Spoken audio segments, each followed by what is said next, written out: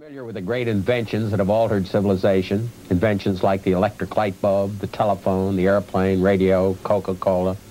There are, on the other hand, inventions we'd be better off without. And tonight, I'd like to list five of the worst inventions of modern times. You may have your own candidates. Number one, the hot air hand dryer in public bathrooms.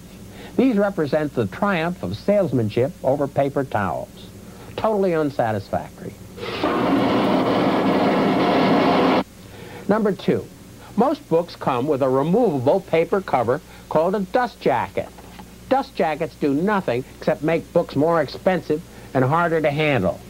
Number three, pop-top cans are a bad idea. It's an unpleasant little task to get your finger under the metal tab so you can pull it open. But the worst thing about these things is that you can't close it. No one wants to drink 12 ounces of a sweet soft drink without stopping. Do the people selling this stuff want us to save some for later? No, they want us to throw out what's left and buy more. Number four, Venetian blinds. I'd like to talk to the Venetian who invented blinds. I have them in my office, and they're fine until you try to open them or close them.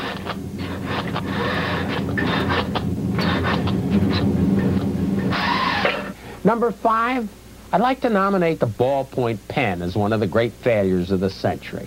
I bought this to remind you what pens used to look like. You needed an inkwell, and they were satisfying to use in many ways, but not too practical. You had to have a blotter, and then you had to have a pen wiper when you finished. So they invented the fountain pen. Well, they really weren't satisfied with the fountain pens either, so inventors came up with the ballpoint pen. I don't know whether there's really a ball in here anymore or not. They have survived because of the credit card craze.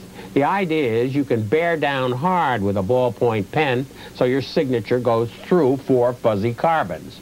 You get the last copy, of course, which you can't read.